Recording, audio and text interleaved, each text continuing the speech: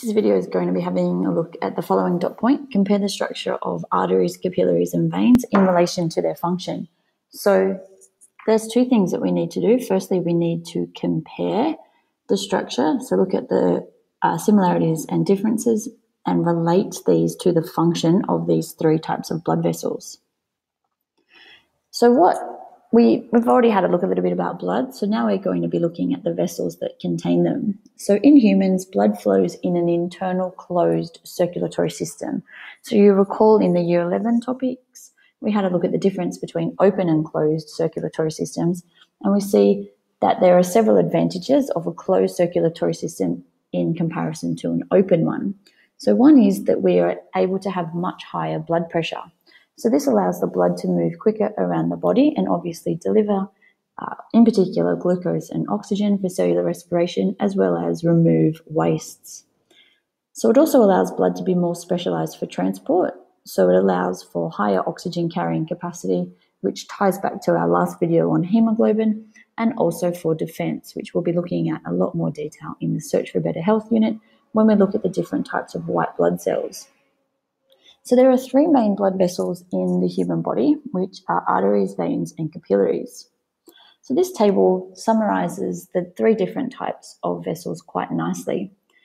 So the features that are listed there include things like carries blood, is the blood oxygenated or deoxygenated, how thick are the walls, do they have elastic tissue, what is the size of the lumen? The lumen is the opening through which the blood passes, uh, movement is provided by what is the pressure inside the vessel and are there valves present. So in arteries, the blood is carried away from the heart. So all of the blood in our arteries, except for the pulmonary artery, is oxygenated. So this is why we try to stay away from saying that oxygenated blood is only found in arteries because it can be found in one of our veins, being the pulmonary vein. So we really uh, prefer to look at the fact that it is the blood being carried away from the heart. The walls of arteries are quite thick with a number of different layers. Uh, as we can see in this picture, we have a smooth outer layer, but then inside we have a thick muscular wall and an elastic layer, which helps um, the blood to pump through and ties into the movement through the vessel. So the size of the lumen is larger than capillaries, but when we have a look at veins, we will see that the lumen of the veins is bigger.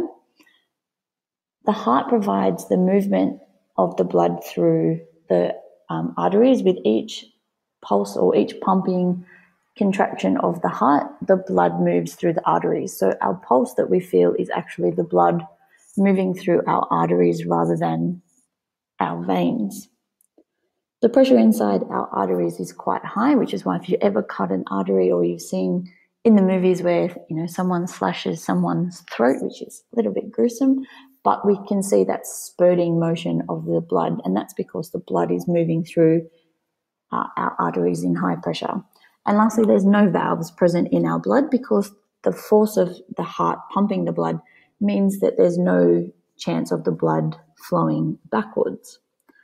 Now, with our capillaries, these are our smallest blood vessels, and their job is to carry blood to and from all of the cells and tissues within our body. So, depending on the location of the capillary in the body, they can carry either oxygenated or deoxygenated blood. So, if they're carrying blood to the cells, they're most likely carrying oxygenated blood. The capillaries then drop off the oxygen and therefore become deoxygenated as they move away from the cells. They have the thinnest of the three different types, the thinnest wall, sorry, of the three different types of vessels, and they're actually only one cell thick. So that allows for the easy diffusion of substances in and out of the capillaries and into the cells. There's no elastic tissue present, and lumen is extremely small. So as we can see from the diagram, it's only big enough to allow one red blood cell through at a time. Movement through our capillaries is also brought about by the pumping action of our heart, but because there's no mus- muscle or elastic layer, the pressure inside these vessels depends on the location. So the closer to the heart, the greater the pressure, the further away from the heart, the less pressure there is inside these capillaries. And just like our arteries, there's no valves present. So, lastly, with our veins, our veins' job is to carry blood back to our heart.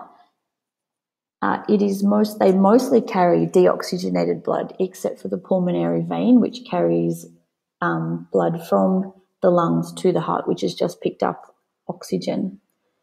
The walls are much thinner than the arteries, but as we can see, they are quite thicker than the capillaries. There is no elastic tissue present, and the lumen is the greatest in size in uh, comparison to the other two. So we have this nice big opening to allow the blood to flow through. Unlike the arteries and capillaries, the movement of the blood through the veins is brought about by the contraction of the muscles that surround the vessels. It's because of this that the pressure within the vessels or in the veins in particular, sorry, is much lower than the arteries. And it's also this reason why the veins have valves because there is no pumping mechanism that is forcing the blood in the one direction, the veins have the valves in order to stop the blood from flowing the wrong way. So, in particular, in our legs and in our arms, or mostly we see this in our legs, uh, if the valves aren't working properly, the blood could pool in our extremities, so in particular our feet. And people who have faulty veins or faulty uh, valves in their veins end up with problems known as varicose veins, where they have um, sort of a pooling of blood in that area, and they're not very nice.